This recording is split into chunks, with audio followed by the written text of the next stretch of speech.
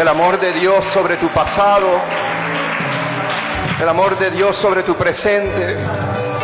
El amor de Dios que va a estar ahí en el futuro. Porque en tus tiempos más oscuros, en tus tiempos más asquerosos, en tus tiempos con la vergüenza de nuestras decisiones, de nuestras fallas. Él te amó en esos momentos donde tú ni te amabas. Él te amó. Y la noticia es, es que Él no te va a dejar de amar. Él no puede dejar de amarte. Él te creó para poner su amor en tu vida, en tu espíritu, en tu cuerpo. Nadie te va a amar más que Dios te ama. Y Él ya lo probó cuando Él mandó su Hijo para morir para nosotros. Porque no hay un amor que existe sin un sacrificio. Y Él lo sacrificó todo para mostrarte para la eternidad que Dios te ama. Que Dios te ama. Que Dios te ama. Quizás en esta semana nadie te ha dicho que, que alguien te ama. Pero Dios en esta noche te está diciendo, yo te amo, yo te amo. Quizás tú sientes como tú no mereces ser amado, pero ni siquiera a mí no me importa lo que tú piensas de usted. Cuando yo te veo, yo veo perfección, porque cuando yo veo, yo veo mi creación. Y por eso te alabo, Señor, y por eso te amo, Señor, con todo mi ser. Gracias. Ustedes pueden tomar su lugar. A mí me encanta administrar con otras personas que son espirituales también. Yo respeto y yo agradezco los esfuerzos de las personas que no se paran aquí con el micrófono para hablar por una hora y media ojalá 45 minutos hoy. Pero los que, los que vienen aquí, los que oran y los que abren el camino para, para el Espíritu Santo de Dios, y no es necesariamente para que el Espíritu Santo de Dios llegue, Él está aquí, pero, pero para, para que podamos experimentarlo, para que podamos sentirlo. Ellos se sacrifican y se paran aquí para orar y para abrir ese camino. Y estoy seguro que antes de pararse aquí para orar para el servicio, ellos oran solo en su tiempo privado para prepararse para orar aquí. Y los cantantes y los músicos, estoy seguro que tú oraste hoy para seleccionar las canciones, ¿verdad? Dios se usó Dios te usó. Y hay muchas, hay muchas veces que ni sabemos si son nuestros pensamientos o si son las guianzas, las directrices de Dios. Pero las canciones que tú seleccionaste para esta noche se trataban de amor. Y en esta noche yo voy a hablar de enséñame a amar. Enséñame a amar. Posiblemente tú piensas que tú ya sabes cómo amar. Ay, yo, yo soy un profesional. Estoy casado por 20 años. Yo le digo a mi esposa, a mi esposo, todas las mañanas, yo te amo. Yo soy profesional. Para los días ah, especiales yo compro flores, y las buenas, no las que están como media muertas ya, las que tú puedes encontrar en un descuento. Y pensamos que sabemos cómo amar hasta que experimentamos el amor de Dios.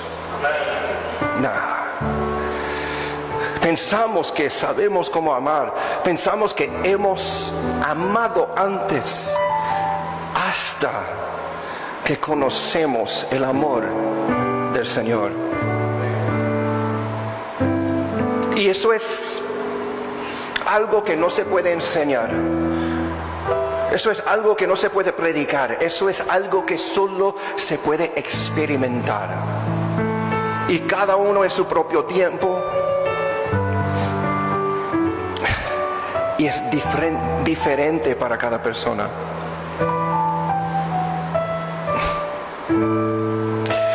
Mi papá me regaló un libro que se trata de encuentros que seres humanos han tenido en momentos que ellos murieron. Estaban en, una cama, en una cirugía, y por un segundito la máquina fue y no había acción en el corazón. Y es un libro que está lleno de esas experiencias. Y es un libro grande. Yo solo leí un poquito porque no me gusta leer. Pero había un encuentro en ese libro que realmente me impactó. Era una historia de, un hombre que, por cierto, él, murió y él ni era un cristiano. Ese libro está lleno de, de personas que creen en Dios, de personas que no creen en Dios, de personas que son de otros países, que tienen otras religiones, que ni saben de Dios, ni saben de Jesús. Y cada persona que pasa por la misma cosa, tienen las mismas experiencias. La misma historia. Y casi siempre hay como un túnel negro, oscuro, y hay una luz al final. Y hay personas que llegan al otro lado de donde está la luz y hay otros que ellos regresan antes de llegar a ese otro lado sin saber qué está en el otro lado. Por eso yo recuerdo en, los programas de televisión que yo veía que cuando una persona estaba a punto de morir, las personas siempre dicen, no vaya a la luz, pero Jesús está diciendo en esta noche, vaya a la luz y te vas a encontrar, te vas a encontrarte con el que ama. En esta historia era, era un hombre que no era un creyente de los Estados Unidos, por cierto, él fue allá, él pasó a través del túnel, él llegó al espacio donde estaba la luz.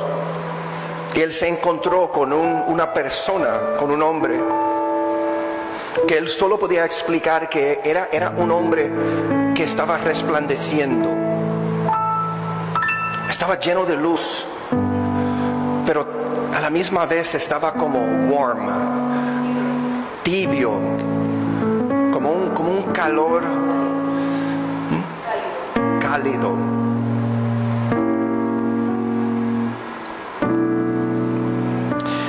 Y cuando él se encontró con ese ser, él dijo que por fin él entendió lo que era el amor. Él dijo que en ese momento cuando él tenía contacto con ese ser, que él sintió amor por la primera vez. Y él supo que era amor porque ese amor llegó a su cuerpo entero, a su espíritu entero, a su alma entero. Pero ese amor llegó a lugares en él que él supo que no eran amables. Llegó a lugares en su estado de ser que son las cosas que él escondía de los que él pensó que él amaba y que él pensaba que ellos le amaban a él también.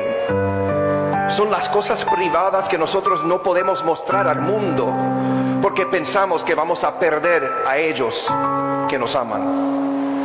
Y él dijo que ese ser que le amó en esa manera, que su amor llegó a esos lugares que no merecen ser amados. Y cuando yo te digo que yo pensé que yo supe cómo amar antes, yo estaba equivocado hay niveles de amor, hay más amor. Y cuando tú recibes y experimentas el amor de Dios, eso cambia tu manera de amar aquí en la tierra. Y Dios Jesús quiere usarte. Él quiere llenarte con propósito, Él quiere llenarte con denuedo, Él quiere llenarte con ese amor que va a echar fuera toda cosa que, no, que tú piensas que no merece ser amado. Y Dios te quiere usar a todos. Dios te quiere usar como un instrumento de amor. Lo genial de los instrumentos son es que si tú eres un instrumento, tú no tienes que hacer nada, tú solo tienes que ser usado por el músico. Y Dios quiere poner sus manos sobre ti para usarte como un instrumento de amor. Pero muchas veces los músicos tienen que practicar con sus instrumentos. Porque cada instrumento se parecen igual pero cada instrumento tiene sus, sus características un poquito diferentes. Tú tienes que atonarlo un poquito diferente. Tú tienes que conocer a tu instrumento para verdaderamente usarlo a la capacidad que se puede ser usado. Y por eso Dios quiere pasar tiempo con usted.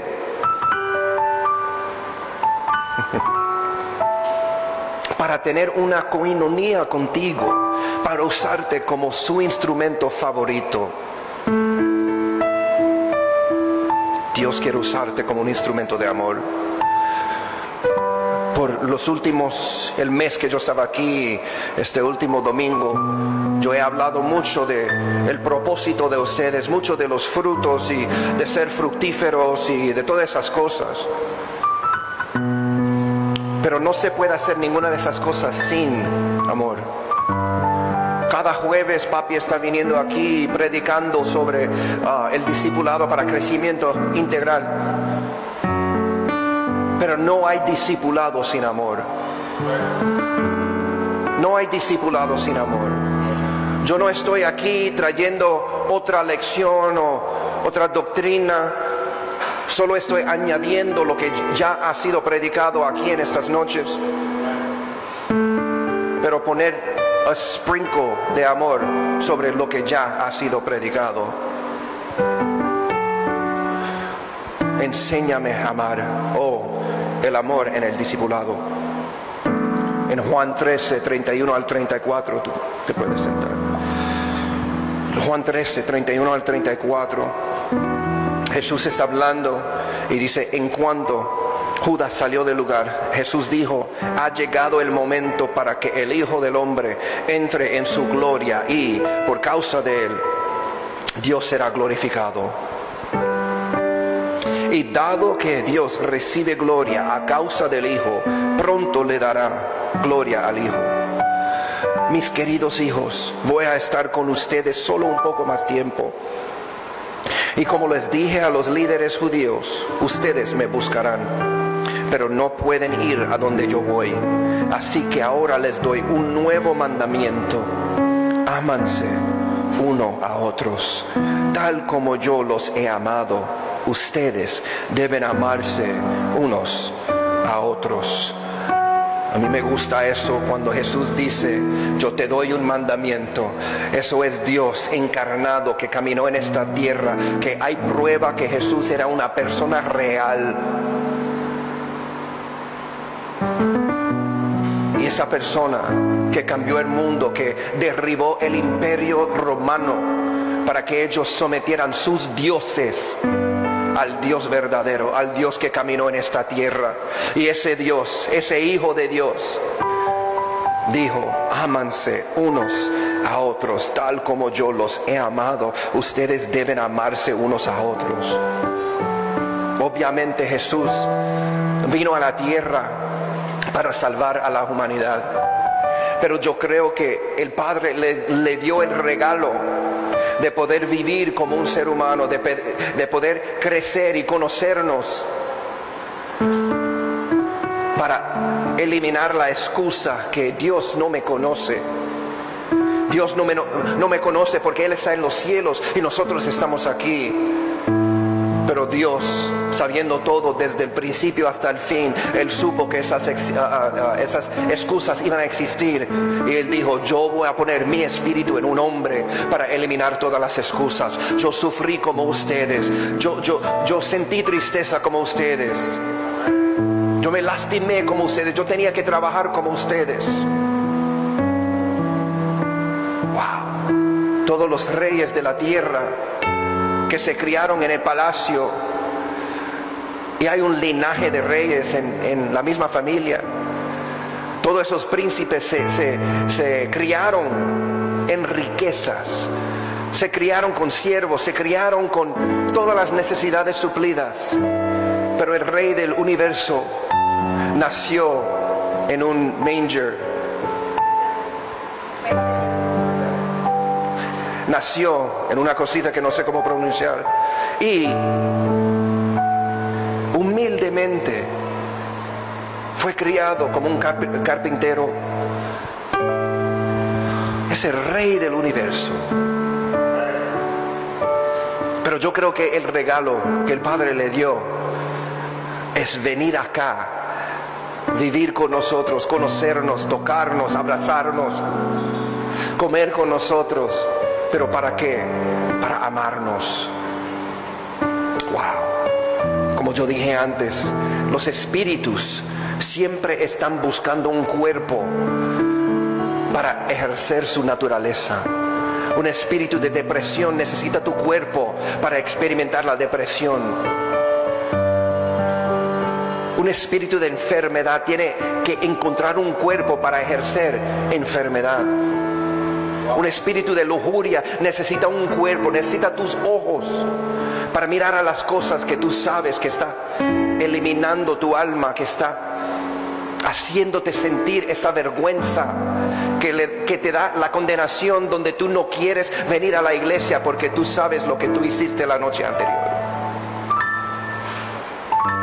Los espíritus están buscando tu cuerpo para ejercer su naturaleza.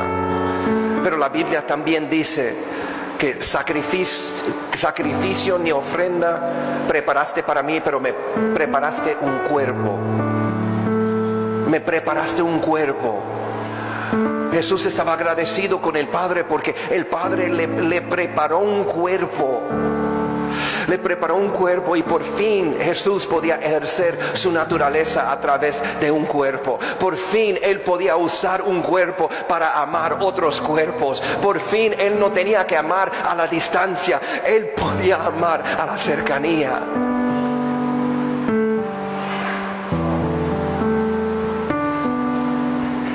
Así que ahora les doy un nuevo mandamiento. Ámense unos a otros. ¿Y por qué dijo eso? Él dijo eso porque Él ya dijo, yo me voy de aquí. No voy a estar aquí con ustedes. Voy a tener un cuerpo espiritual. No voy a poder tener la habilidad de amar de un cuerpo a otros cuerpos. Cuando me voy de aquí. Pero en Juan 15 o 14 o 13, cuando Él dice que yo voy a estar en usted en la manera que yo estoy en el Padre. Él estaba diciendo que si tú amas a tu prójimo, si tú amas a tu hermano, y si tú tienes a mí adentro, yo puedo experimentar el mismo amor que yo experimenté cuando yo caminaba en esta tierra, pero no solo por una vida, pero por la eternidad. Dios te quiere usar. Dios te quiere, te quiere usar para amar. Pero el amor es algo muy, a veces muy peligroso, especialmente amando a otras personas. Y hoy en día, especialmente en los Estados Unidos, yo veo que las personas se, unen por conveniencia, pero no por amor, porque ellos no quieren someterse a otra persona, porque cuando tú te sometes a una persona, tú rindes poder a esa persona.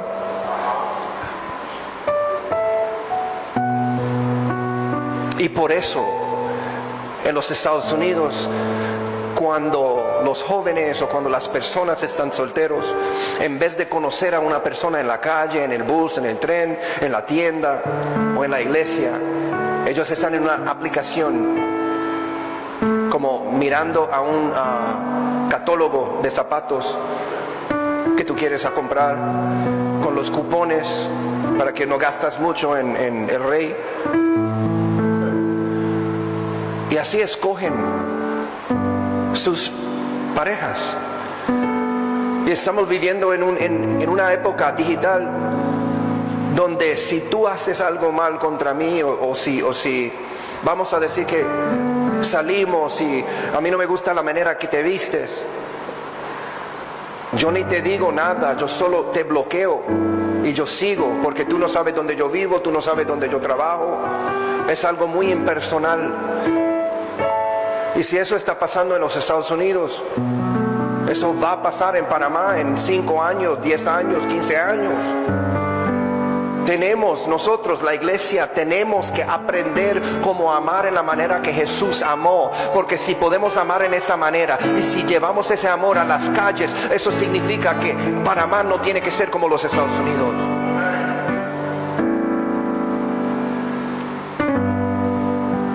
Amor siempre viene con, un arriesgo, el amor natural. El amor de Dios nunca viene con un arriesgo. Pero una pregunta que yo tengo es, ¿cuándo empezaste a tener miedo de amar? A amar verdaderamente. Podemos tener miedo de amar sin saber que tenemos miedo de amar. Muchas veces ese, ese miedo entró tu vida cuando tú eras joven y tú empezaste a protegerte, que eso pasó tantos años atrás que ni, ni recuerdas que tú pusiste muros alrededor de tu corazón y que tú no permites que nadie entre ahí. Miedo de correr el riesgo miedo de confiar tu corazón a otro. El amor tiene tantos significados, tiene tantos niveles, tantas manifestaciones. Y dependiendo quién tú preguntas, te dirían que el amor tiene idiomas. Y hay muchos cristianos que han leído ese libro que hay mi idioma de amores, mi lenguaje de amores actos de servicios o todas las mujeres han leído ese, libro para entender el amor, pero cuando tú empiezas a tratar de, de, identificar amor de esa manera, tú empiezas a poner límites en lo que es amor. El espíritu de convicción está en la casa esta noche.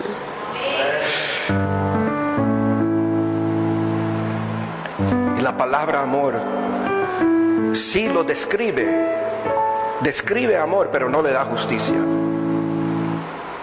Hay más del amor que nosotros sabemos, hay más del amor de, de que nosotros podemos saber. El momento que tú piensas que tú has llegado en cualquier cosa es el momento donde tú dejas de tener la habilidad de aprender o de experimentar algo nuevo. El amor no es todo menos la palabra real.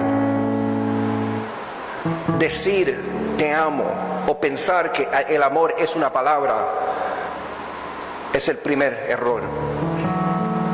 Muchas veces podemos utilizar la palabra amor para ocultar las verdaderas emociones en nuestro corazón. Muchas veces podemos utilizar la palabra. Decimos te amo para protegernos de aquellos que nos han hecho daño.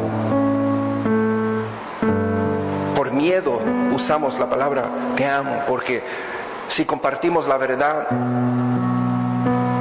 tenemos miedo del ataque que posiblemente viene después de eso. ¿Cuándo empezaste a temer, a amar? ¿Por qué estoy hablando de todo esto? Estoy hablando de todo esto porque yo de joven, de niñito, mis padres siempre, siempre lo dicen, aparte de ser Joel Rosario, tú eres nuestro favorito.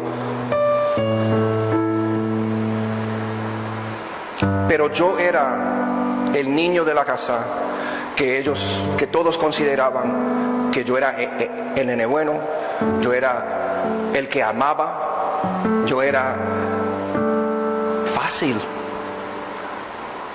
Hasta que yo llegué a, mis 13 años por ahí. Pero mis padres siempre me dicen que yo era un amor.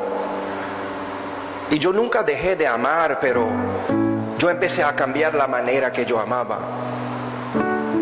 Siendo un amor de tan joven, es casi como si mi espíritu estaba muy abierto. Decimos que el amor viene con un riesgo, ¿verdad? Yo era un amor, mi espíritu muy abierto. Y eso significa que muchísimas cosas me molestaban, muchísimas cosas me dolían. Hasta que me llamaban llorón junto con Chino Viejo. Me llamaban mantequilla porque ni me podían tocar porque si me tocaban yo iba a llorar. Yo era tan sensitivo, tan sensible con cosas así. Y al escuchar, ay, tú eres tan sensitivo, ay, tú eres tan sensitivo, ay, tú eres tan sensitivo, cada vez que tú lo escuchas, te cierras un poquito más. Me lo están diciendo eso como si es un problema, en vez de decir, wow, tú eres sensitivo. Eh, en la tierra dicen, ¿por qué tú eres tan sensitivo? Pero en el cielo dicen, wow, tú eres sensitivo. Yo no quiero la aprobación de la tierra, yo quiero la aprobación del cielo. Pero ¿qué pasó? ¿Qué pasó conmigo? ¿Qué pasó en mi vida? Siendo un hijo de un apóstol sobre un ministerio de, muchas iglesias en todo el mundo, junto con el don de discernimiento que el Espíritu Santo siempre ha, ha, tenido sobre mi vida, en muchos sentidos para protegerme, en otros sentidos para notificarme de las cosas que están pasando y hasta ese don, cuando yo estaba en el mundo, seguía activo. Yo estaba en las discotecas, yo estaba en, las fiestas, yo estaba con muchos amigos que ni un, ni un día en su vida entraron a una iglesia de otras razas que, servían y, sirven otros dioses en ese momento. Pero ese don de discernimiento me protegió porque ni uno de mis amigos en el mundo me han traicionado ni una vez. Pero había personas donde mis amigos estaban como, ¿por qué tú no quieres salir con este muchacho aquí? Y yo le decía, él no me cae bien. Yo no sé por qué, no ha hecho nada, pero no me cae bien. Eso fue el don de discernimiento protegiéndome. Y algunos de tus hijos que hoy en día tú tienes miedo y temor porque están en el mundo, pero mira, el Espíritu del Señor está dentro de ellos y el Espíritu Santo le está protegiendo por tus oraciones, por tus lágrimas, por el tiempo que tú pasas y que tú inviertes en tus, en tus rodillas.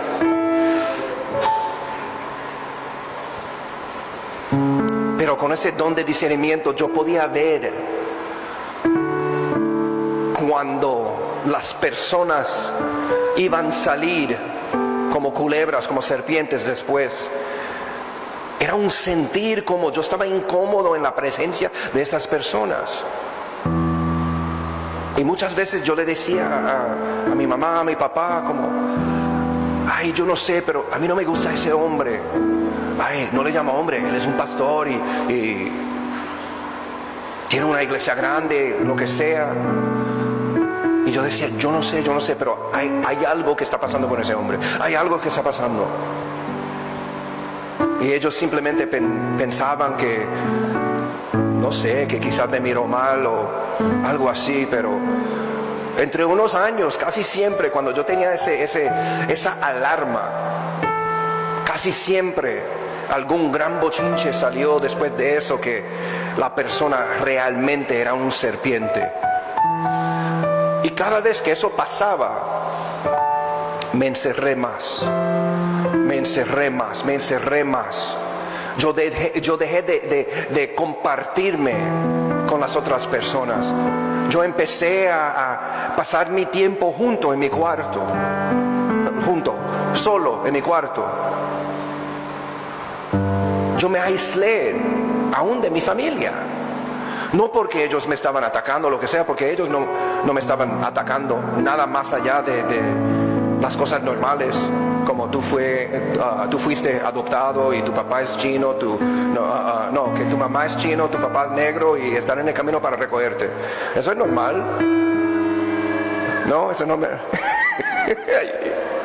Con razón me cerré. Para mí eso es normal. No importa, eso te da carácter.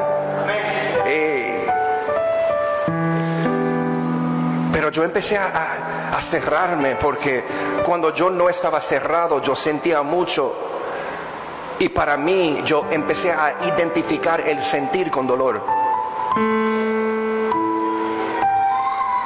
Y yo viví en esa manera por tantos años que yo empecé a pensar que yo cambié, que yo maduré, que yo no era tan sensitivo, yo pensé que, que, ser duro era parte de mi personalidad. Santo Dios. Por muchos años, y mi hijo es testigo, no hay nadie como mi hijo estaba ahí durante todos los años que yo sufrí en mi matrimonio, que para muchos le hubiera hecho llorar sin dejar de llorar por mucho tiempo, pero tú sabes que yo, yo dejé de llorar.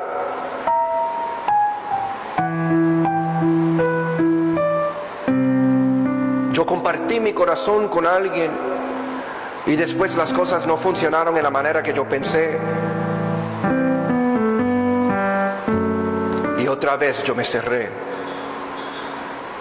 Y yo viví en eso por tantos años que yo dejé de compartir mi vida otra vez con otras personas. Aún siento puro, ellos no, no podían entrar, no podían cruzar. Y yo creo que era fácilmente como quizás cinco años o posiblemente más, donde yo fui todos esos años sin echar ni una lágrima. Yo dejé de llorar, yo dejé de sentir.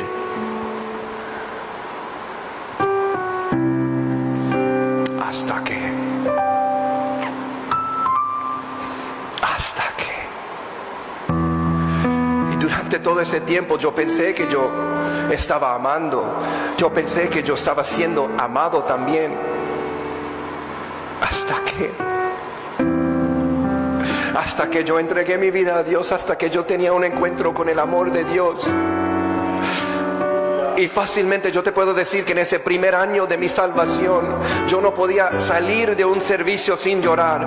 Yo lloré tantas veces en ese primer año que era todas las, lágrimas que me tocó en los 10 años antes de eso. Cuando Dios me salvó, Él también me dio la habilidad de sentir otra vez. Es como si Dios me estaba diciendo que yo te voy a abrir otra vez para que tú puedas sentirme, porque yo te quiero sentir también.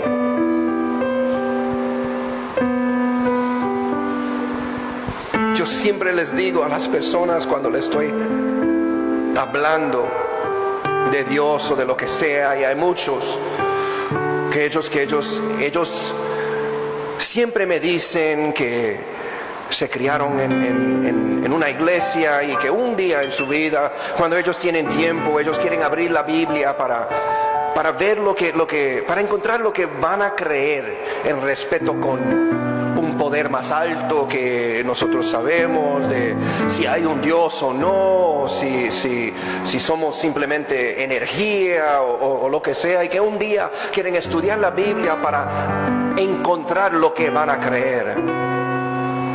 Y yo les digo, mira, yo soy un predicador que yo viajo y yo predico en muchos lugares, solo salvo por seis, seis años ya. Y yo les digo, tú no vas a encontrar a Dios en la Biblia.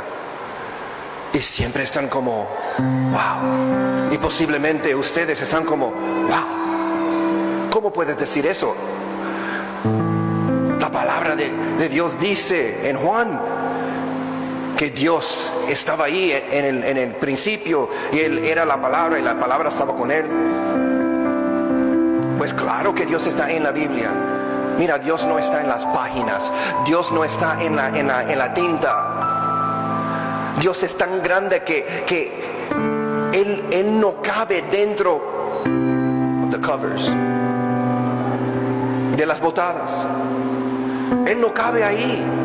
Yo creo que hay un versículo en la Biblia que dice que si, que si tratamos de escribir todas las cosas que Dios ha hecho, todos los milagros que Dios ha hecho o que, que Jesús ha hecho, que no hay suficientemente es, que no hay suficiente espacio en el mundo para cargar las páginas. Dios no está en el libro, en el libro. Y yo les digo, tú no vas a encontrar Dios en el libro.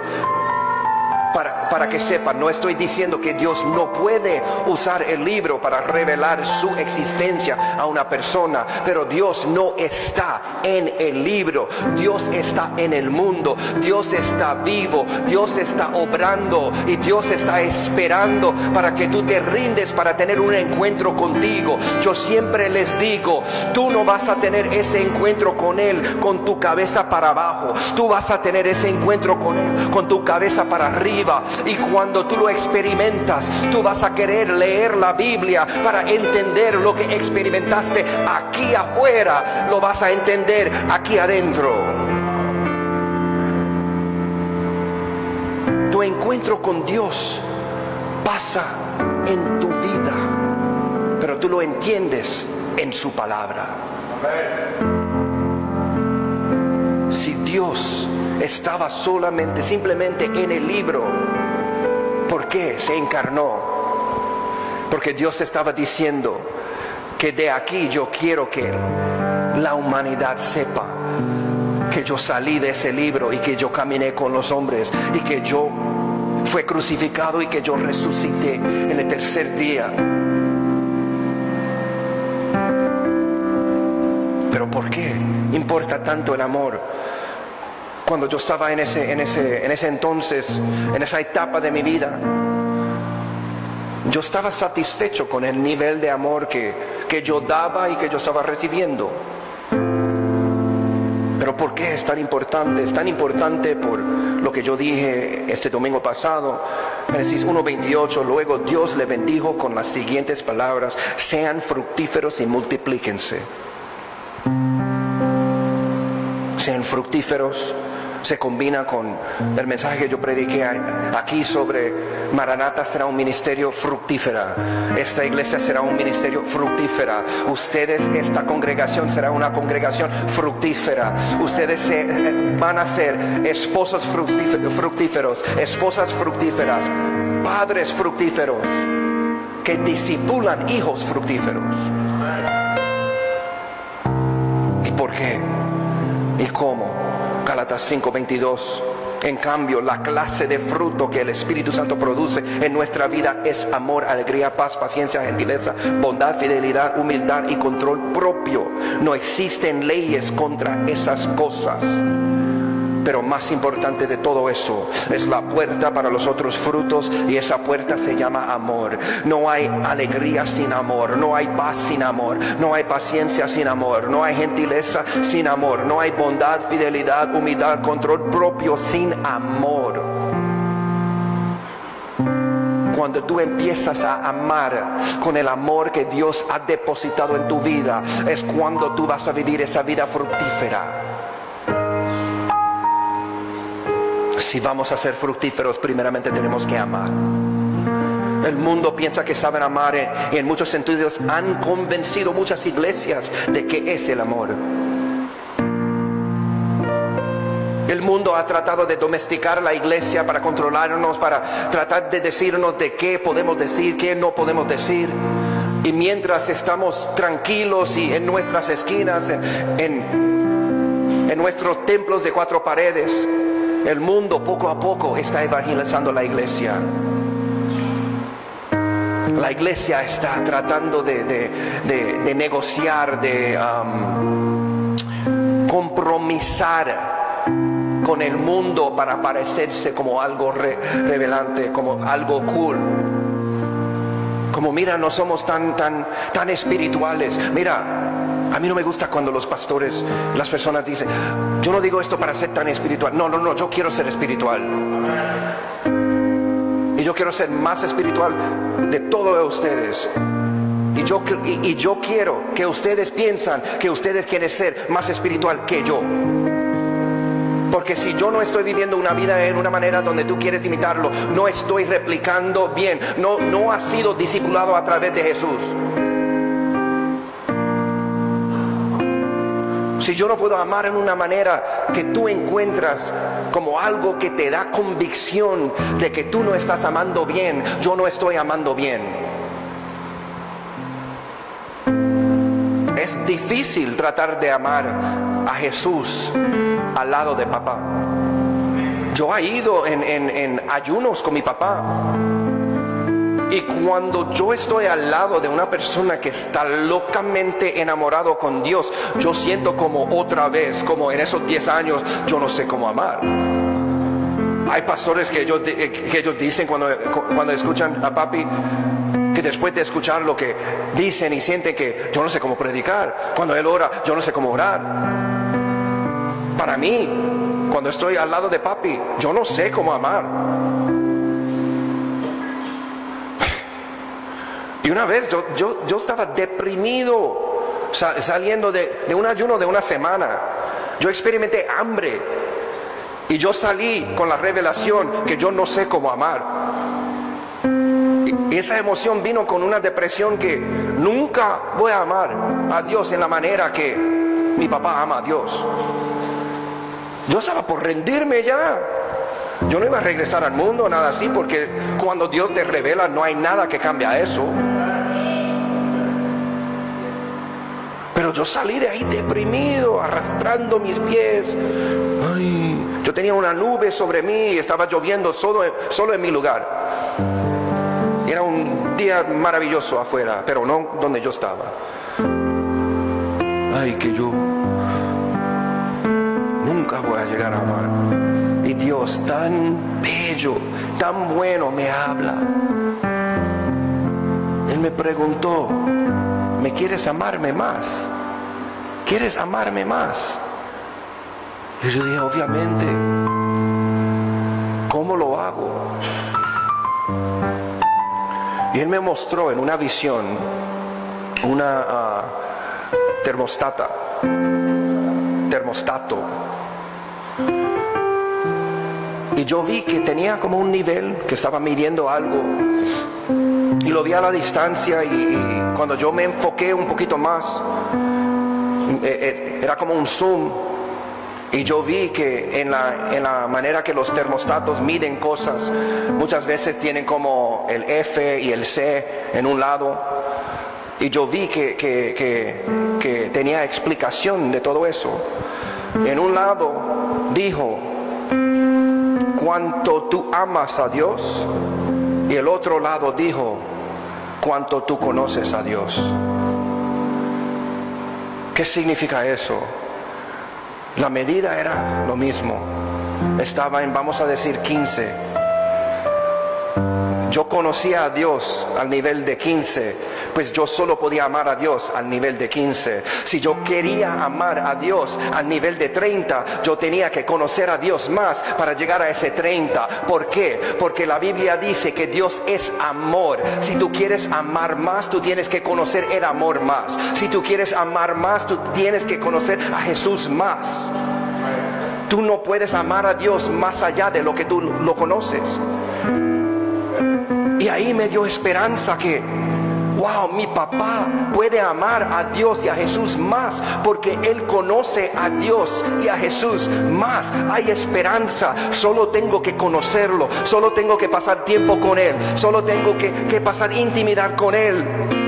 Y cuando yo lo hago, voy a ser capacitado de amarlo más, porque lo voy a conocer más. Y mira, yo te, yo te voy a dar la advertencia en este momento. Cuando tú empiezas a conocer a Jesús, tú vas a querer a conocerlo más, porque no hay ni una persona en esta tierra, en el pasado, en el presente, en el futuro, más asombroso que Jesús. Y es, y es un vicio, se convierte en un vicio, donde cuando tú lo conoces, cuando tú lo amas, tú tienes que tener más, tú tienes que experimentar más. Las personas que no han experimentado el amor de Jesús no entienden eso, miran a eso y dicen, wow, qué locura, wow, ellos son, ellos son fanáticos. Pero, pero, como mi papá dijo una vez, yo no puedo ser un fanático si estoy en el band. Yo no puedo ser fanático si soy parte del equipo. Yo estoy en el equipo con Jesús. Yo no soy un fan de lejos. Yo soy parte del equipo por dentro. A mí no me importa si me llaman loco. Si me veían en el mundo, en las fiestas, en las discotecas, mis amigos que no conocían a Dios, ellos tenían miedo por mis adicciones en el mundo. Yo era loco. Yo no voy a cambiar eso cuando yo vengo aquí, cuando yo vengo a la iglesia. Ay, ok, tú tienes que quedarte callado. Vete a tu esquina. No, tú eres un poquito loco. No, si voy a ser loco, voy a ser loco para la gloria de Dios.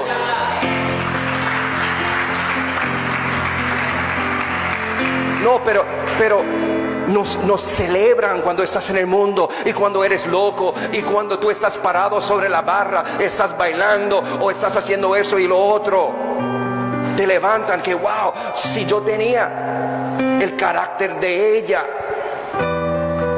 muchos de los hombres me van a mirar. Wow, si yo podía ser así de loco como ese, las muchachas van a venir a mí. Ellos se levantan para la, locura de la gente. Ellos siempre decían que, wow, cuando yo llegaba, yo siempre decía, wow, ahora que Él está aquí, la fiesta llegó. Y mira, mis amigos que no son cristianos, que me amaban en el mundo, ahora que me ven como un loco para el reino de Dios, no están sorprendidos. Ellos estaban como, wow, él era loco en el mundo, él no ha cambiado. Ahora él está loco para otra razón. Pero ellos tenían miedo. Ellos pensaron que un día yo iba a morir. Regresando a la casa después de una fiesta, de una emborrachada donde todo se puso negro. Y yo conducía mi carro sin recordar cómo yo llegué a la casa. Yo me levantaba en el sofá el próximo día para decir y pensar que, wow, unos minutos atrás yo estaba bailando en la discoteca. ¿Cómo yo llegué aquí? ¿Dónde está mi carro? ¿Dónde está mi llave? Estoy mirando mi teléfono para ver si tengo fotos o si tengo mensajes. Yo voy afuera para ver si mi carro está ahí, si está como quebrantado, chocado. Y no, todo estaba sano cada vez. Yo no sé, en, esos momentos yo no sabía cómo yo llegaba a la casa, porque yo no creía en Dios. Pero después que yo tuve ese encuentro con Dios, Dios me mostró que cada vez que yo estaba a punto de morir, a punto de chocarme con otro carro, que yo estaba contigo, que tú sabes que tú estabas sentado en la silla de, de conducir, pero el volante estaba en mis manos. Yo te protegí porque tú eres uno de mis hijos, porque tú eres y vas a ser un instrumento de amor y yo te necesito para ejercer mi naturaleza aquí en esta tierra. Y eso no pasó una vez. Eso pasó sobre 20 años. Y después, cada, cada de esas ma mañanas después, siempre eran las mañanas de vergüenza. Wow, yo no puedo creer que yo tomé tanto. Yo no puedo creer que, que, yo no podía recordar nada, que, que yo ni sé cómo yo llegué a la casa. Siempre haciendo tratos con, usted mismo después de eso, yo nunca voy a tomar otra vez. Para mí era el tomar. Para alguno de ustedes puede ser tu ira, puede ser tus adicciones, puede ser tu manera de comer, puede ser tu manera de tratar tus hijos, de tratar tu esposa, tu esposo. Y tú haces la decisión después de la próxima vez que tú haces lo que tú sabes que no debes hacer. Y tú siempre dices, wow, nunca, no lo voy a hacer otra vez. Y tú quieres cambiar, pero no puedes. Porque estás tratando de cambiar con tus propias fuerzas. Yo no podía dejar de tomar cuando yo, ah, cuando yo estaba perdido en el mundo. Yo no, yo no podía dejar de tomar sin Dios hasta que yo estaba tomando cuando yo entregué mi vida a Dios. Y como yo siempre digo que en un momento yo fui salvo, pero en ese primer año yo fui santificado. Hay algunos que son salvos, pero están atrasando esa santificación. Dios te quiere hacer santo para que Él puede permanecer dentro de ti.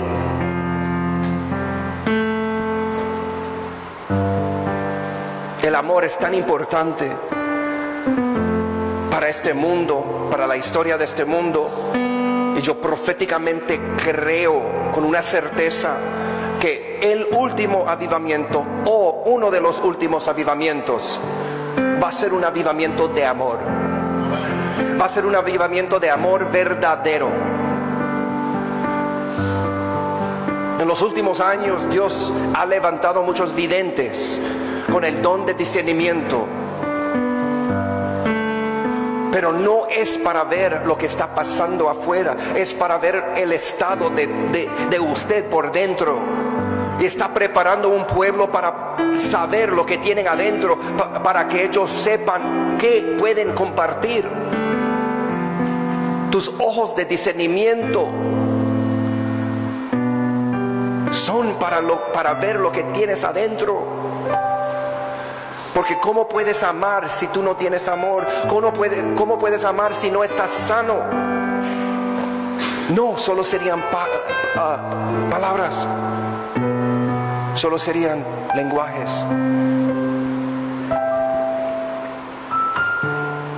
Pero no podemos amar sin saber qué es el amor. Hebreos 11, ese capítulo es el capítulo de la fe. Pero 1 Corintios 13 es el capítulo del amar, del amor. Y eso empieza diciendo, si pudiera hablar todos, todos los idiomas del mundo y de los ángeles, pero no amará a los demás, yo solo sería un metal ruidoso o un símbolo, símbolo que resuena. Yo puedo hablar todos los idiomas del mundo y de los ángeles. Pero si yo no amo, eso significa que está diciendo que tú puedes tener todas las habilidades. Tú, puedes tener todas las habilidades espirituales, todos los dones, todas las gracias. Pero si tú no tienes la gracia de amor, solo sería un metal ruidoso o un símbolo que resuena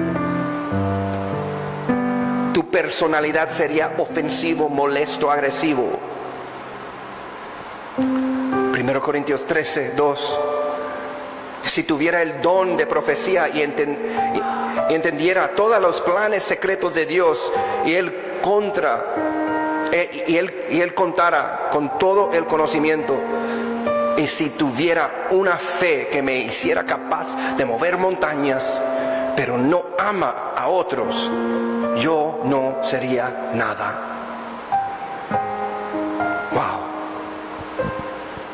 Mateo 7, 22 y 23 dice, el día de juicio, muchos me dirían, Señor, Señor, profetizamos en tu nombre, expulsamos demonios en tu nombre, hicimos muchos milagros en tu nombre. Y Jesús dijo, pero yo les responderé, nunca los conocí, aléjense de mí ustedes que violan las leyes de Dios Regresando a 1 Corintios 13, 2, dice que si, si tuviera el don de profecía, entendiendo todos los planes secretos de Dios, pero si no amo, yo no sería nada. Jesús no conoce esas personas porque son nada. Eso significa que en el reino de Dios, en los ojos de Jesús, no existen porque los ojos de Jesús solo pueden ver amor, solo pueden ver el amor en el mundo, solo pueden ver el amor de Él en ti. Y como yo dije unos, yo creo que era el domingo pasado, que Jesús se encarnó para usar ese cuerpo, para usar esa carne como un boleto para entrar al infierno. El boleto para entrar al cielo es tener el amor de Jesús en tu vida. Si quieres ser conocido, Dios solo te va a reconocer con el amor de Él en tu vida. Si diría, el versículo 3, si diría todo lo que tengo a los probes y hasta sacrificará mi cuerpo. Podría jactarme de eso, pero si no amara a los demás, no habría logrado nada. El 4 dice, el amor es paciente. Aquí es la definición bíblica de qué es amor. La definición del cielo de qué es amor la definición de Dios de qué es amor. El amor es paciente y bondadoso. El amor no es celoso, ni fanfarrón, ni orgulloso, ni ofensivo. No exige que las cosas se hagan a su manera. Amor no exige que las cosas se hagan a su manera. No se irrite, irrita ni lleva un registro de las ofensas recibidas. Eso significa que el amor también olvida.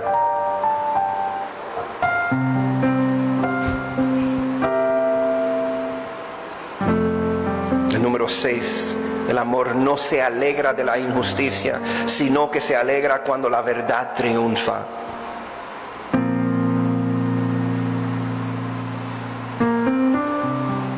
Número 7 dice el amor, el versículo 7 dice el amor nunca se da por vencido, jamás pierde la fe, siempre tiene esperanzas y se mantiene firme en toda circunstancia.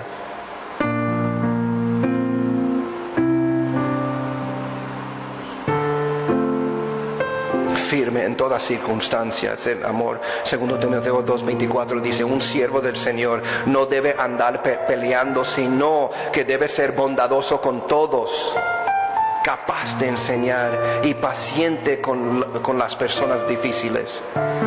Si tú amas, tú vas a tener paciencia. Si tú amas, tú vas a tener todas esas otras palabras que yo dije que son frutos. Tú vas a tener paz. Tú no, tú no tienes que, que tirar cuentas viejas en la cara de tus amados, de tus padres, de tus hermanos. Eso es la misma obra del diablo. Eso es lo que el diablo hace en tu vida. Él te tienta, después te condena. Cuando tú estás pensando en cambiar tu vida, de repente Él, él te manda una imagen de todas las cosas que tú hiciste en el pasado. Ay, no hay redención para ti. Porque mira lo que tú hiciste. Mira, tú me mandaste a hacerlo. ¿Cómo, cómo, lo vas a tirar en mi cara ahora?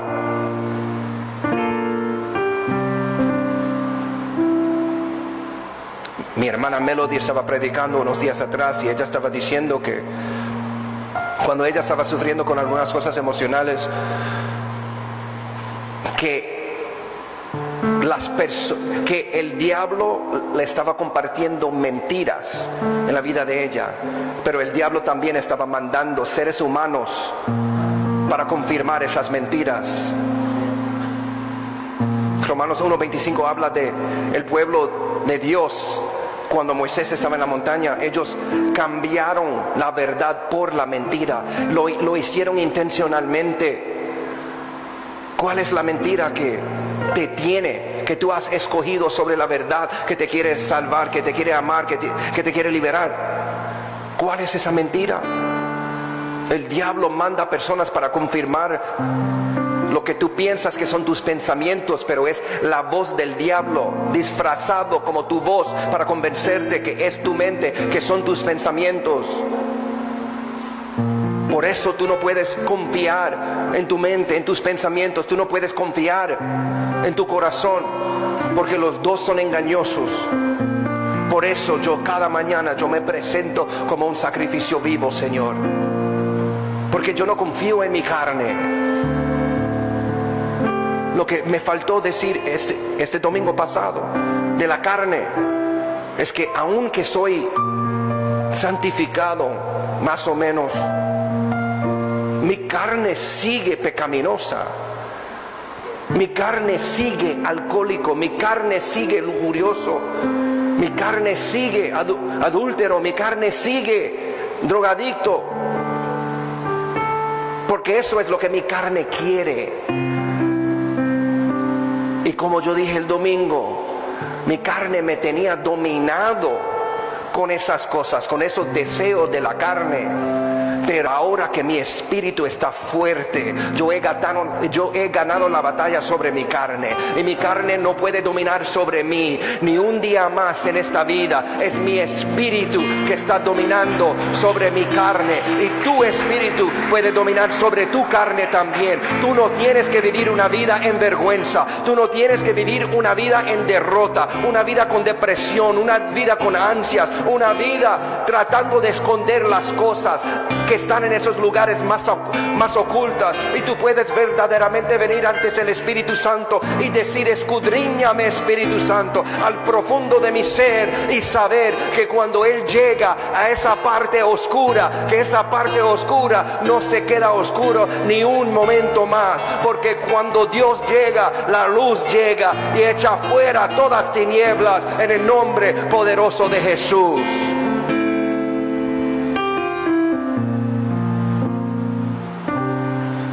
Número 8, versículo 8, la profecía, el hablar en, idioma, en idiomas desconocidas, el conocimiento especial se volverán inútiles sin amor. Pero, aquí está la promesa, pero el amor durará para siempre, el amor durará para siempre. Este amor de la tierra pasa amor de Dios. El, cuando el que es amor te ama, Él te ama para siempre.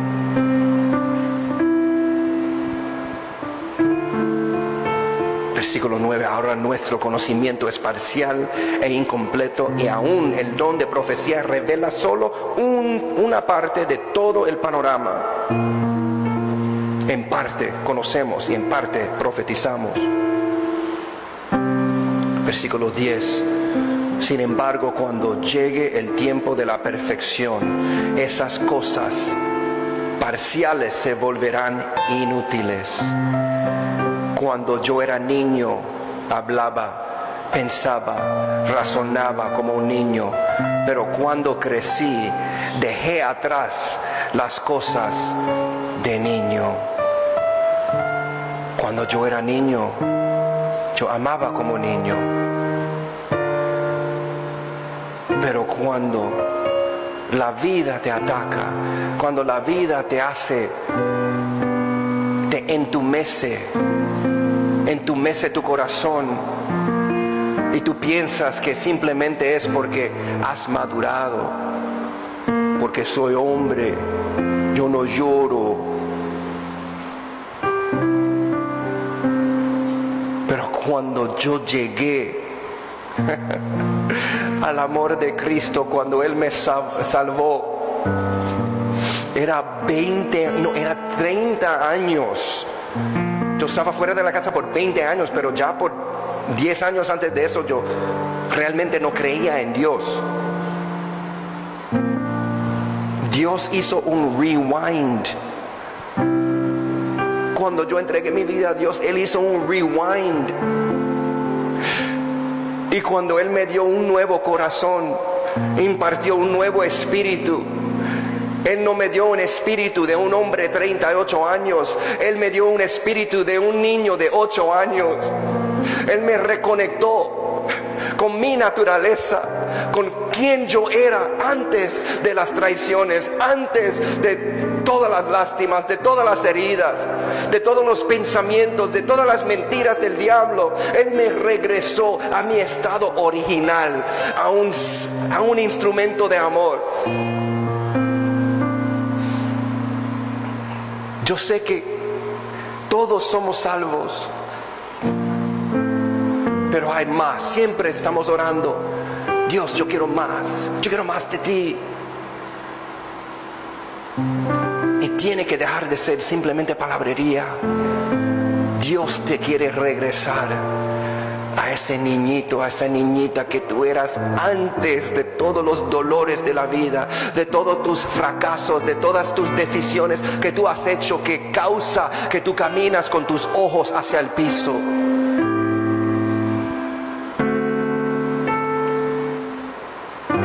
Versículo 12 dice, ahora vemos todo de manera imperfecta como reflejos desconcertantes pero luego veremos todo con perfecta claridad.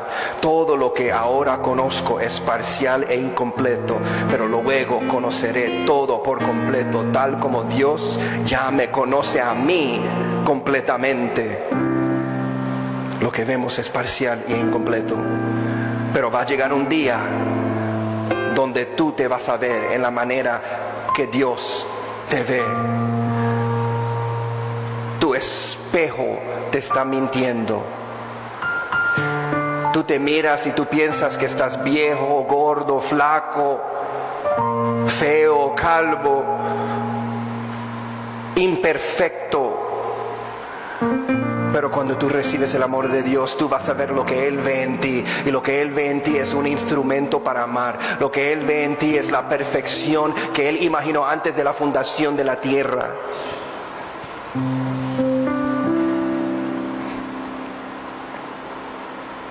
Palabra de Dios es nuestro espejo. Quizás piensas que tú lees la palabra de Dios, pero realmente la palabra de Dios te lee a ti. Es el único libro en la existencia de este mundo que cuando tú lees ese libro, el libro lee a ti. Por eso la palabra de Dios te trae cosas a tu memoria, te, da convicción para que cuando tú levantas tu cabeza del libro, tú puedes encontrarte otra vez con el Dios que salió de las páginas y caminó en la tierra. Número 13, y estoy casi por terminar. Tres cosas duran para siempre. La fe, la esperanza y el amor. Pero aquí dice, y la mayor de las tres es el amor el jefe, el rey de esperanza y fe es amor. La esperanza y la fe se tienen que someterse al amor. Amén. El amor es un lenguaje. Tú dijiste que sí. Arrepiéntete.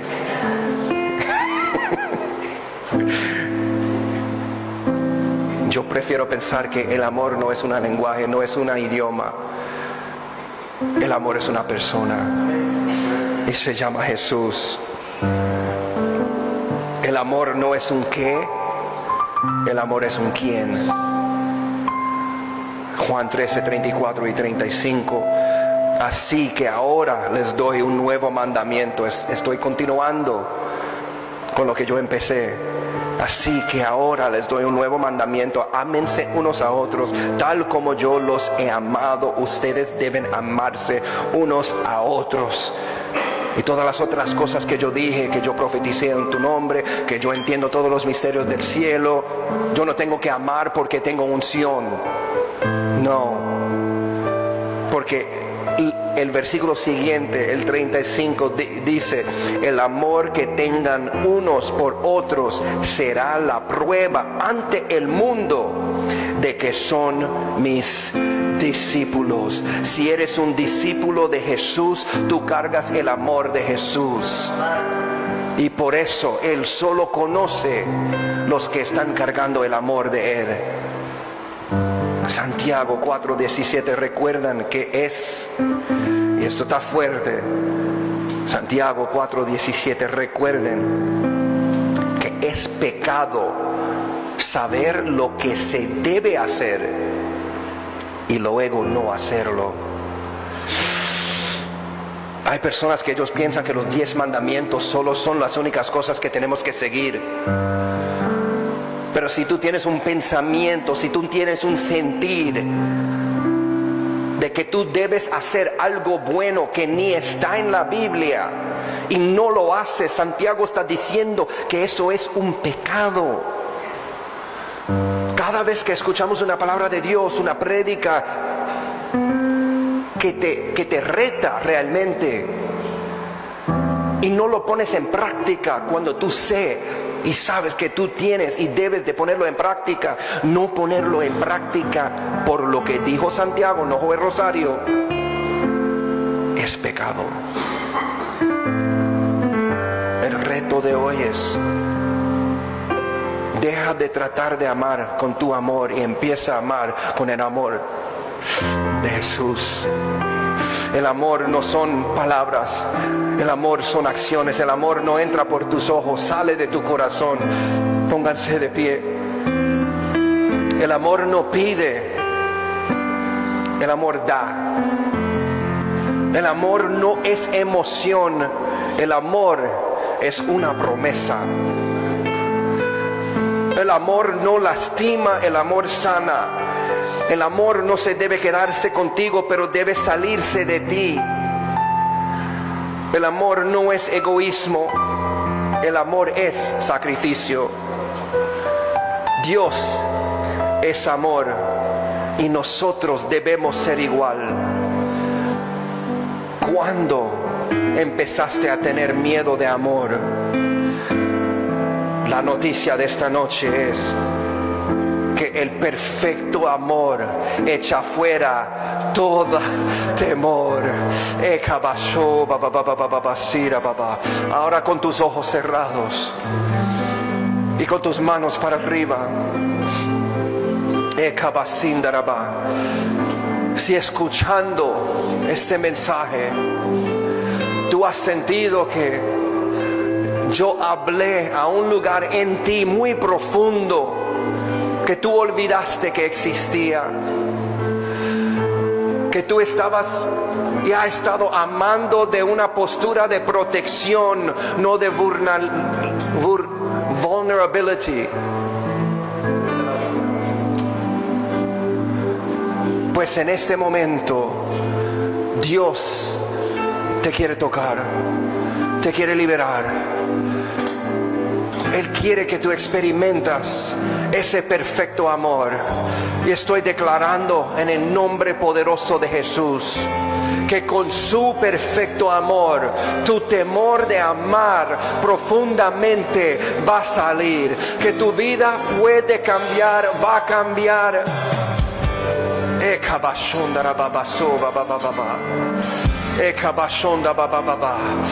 Dios, no pedimos sacrificio ni ofrendas a este punto, pero hemos preparado cuerpos para ti, Señor. Cuerpos que tú puedes usar para amar a los otros, para amar a tus hermanos, para amar tus compañeros, para amar nuestros esposos más, nuestras esposas más, para amar sin egoísmo, para, para amar sin expectativas, para amar simplemente sin condiciones, porque tú nos ama en esa manera y nosotros no merecemos ese amor, pues si los otros no merecen nuestro amor. Ahora yo voy a poner ese merecimiento al lado y simplemente amar, porque tú eres mi primer amor y con ese primer amor yo puedo amar en el nombre poderoso de Jesús. Gracias por hablarnos en esta noche, Señor. Gracias por hablarnos, Espíritu Santo. Gracias por orquestar cada detalle de este servicio en la manera que tú que, quisiste. Esto marca un momento en la historia, en las vidas de cada persona aquí, en la vida de esta iglesia y nos cometemos de ser fructíferos y de multiplicarnos. Ekabashonda baba. Baba. Deposita un mayor amor en tu pueblo, Señor. Deposita un mayor amor en este país, Señor. Para que con ese amor podemos cambiar vidas, podemos sanar a la gente, podemos rescatar niños que están viviendo sin padres, niños que han vivido por mucho tiempo sin amor. Y vamos a romper esos ciclos en el nombre poderoso de Jesús. Porque si el diablo quiere ganar contra una familia, primeramente Él saca a los padres de la casa. Y estamos declarando que si, si algún joven no tiene padre, que el Padre Celestial le va a tocar, le va a revelar. Pero los padres que están en la casa, si ellos empiezan a amar a sus hijos en la manera que Dios nos ama a nosotros, podemos cambiar la casa, podemos cambiar el vecindario, podemos cambiar la barriada y también podemos cambiar el país. Lo creo en el nombre poderoso de Jesús. Lo declaramos y lo sellamos con la sangre de Cristo. Gracias Señor. Gracias Señor. Gracias Señor.